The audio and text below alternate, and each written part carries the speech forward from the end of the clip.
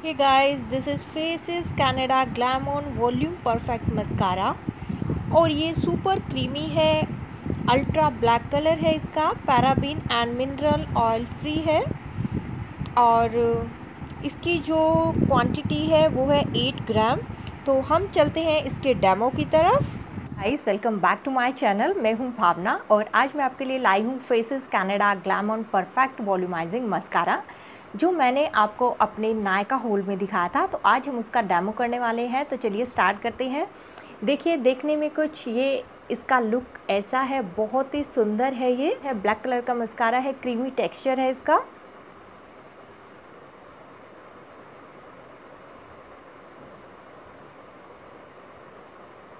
तो गाइज़ बहुत ही अच्छी वॉल्यूम आ रही है और मेरी जो लाश है, वो बहुत ही ज़्यादा अच्छी डिफ़ाइन हो रही हैं, अभी आप देख सकते हैं।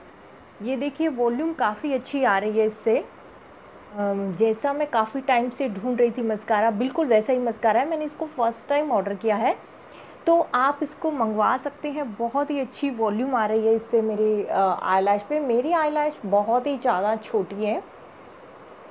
आई पे ये देखिए, ऐसे बहुत ही अच्छी वॉल्यूम आई है। तो गाइज़ मैं आपको एडवाइस करूँगी कि आप ये ले सकते हैं और मस्कारा लगाने के बाद कई बार हमारी जो लैश है ऐसे ड्राइनेस और थोड़ा हार्ड हार्ड लगती है ऐसा भी कुछ मुझे फील नहीं हो रहा है।